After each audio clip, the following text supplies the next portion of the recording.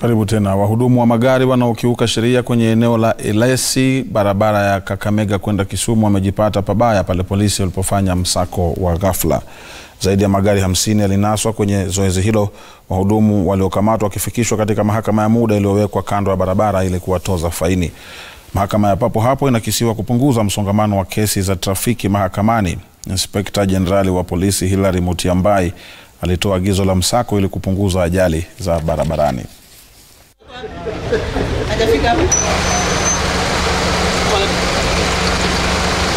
Hakuna mtu officers ya ya traffic mtaona katika barabara peke yake, wale mtaona katika barabara peke yao.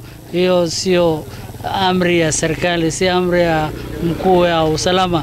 Hawa ni watu ambayo wanatafuta pesa kwa mfuko yao.